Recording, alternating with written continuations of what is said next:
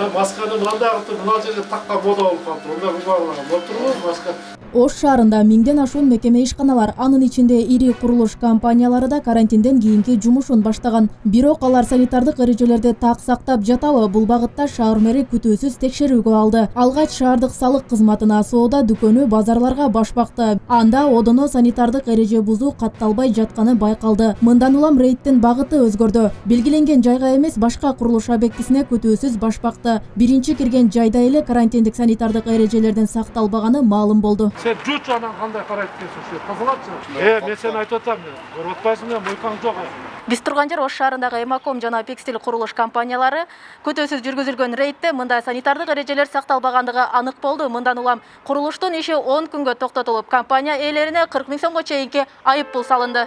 Негизги кире бериш жайда унааларды дезинфекциялоочу килемче төшөлүп антисептик менен камсыздалышы усталар бет кап жана мээлей менен иштөөсү керек. Мындай шарттарды ар бир курулуш компаниялары сактоого тийиш ал эми эмаком курулуш компаниясы жогоруда айтылган айыптоолорду четке кагууда компаниянын өкүлү баардык коргонуу жана алдын алуу чаралары көрүлгөнүн билдирди нашар деп туруп жолдорду карап туруп анан эки домду эки курулушту мындай токтотпойт жумушунчу а бирок чынында биздин воротабыз бул жакта болчу.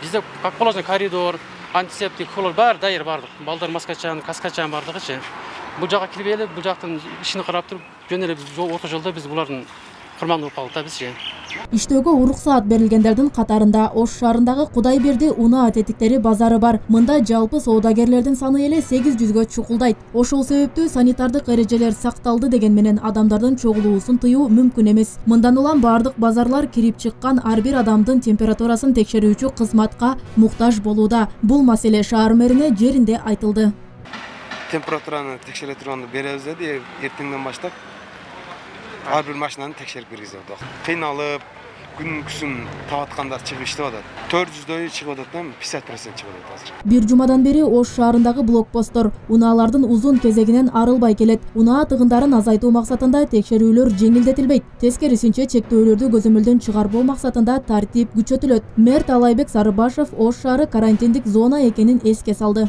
Коомчулук туура түшүнүш керек. Ош шаарында строго катуу мындай көзөмөл кылып ишти алып барып атышат.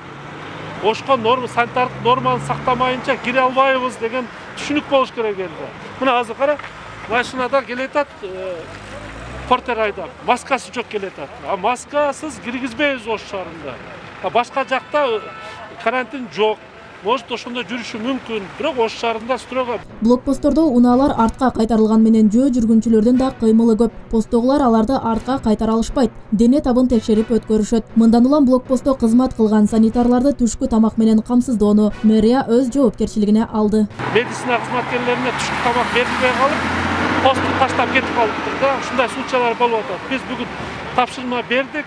Эгер медицина саламат сактоо министрлигинен буларга акча берилбесе ал жактан чечпесе бүгүнкү күндөн баштап биз шаардык мэрия акча бөлүштүрүп чечип берели эске сала кетсек ош шаарында мындай текшерүүлөр күн сайын атайын түзүлгөн мобилдик топ тарабынан жүргүзүлөт алар бүгүнкү күнгө чейин санитардык эреже сактабаган сексен беш кызматкерге чара колдонуп жүз жыйырма беш миң сом айып пул казынага төгүлгөн роза акматжан кызы зайырбек абдукеримов жетинчи канал ош шаары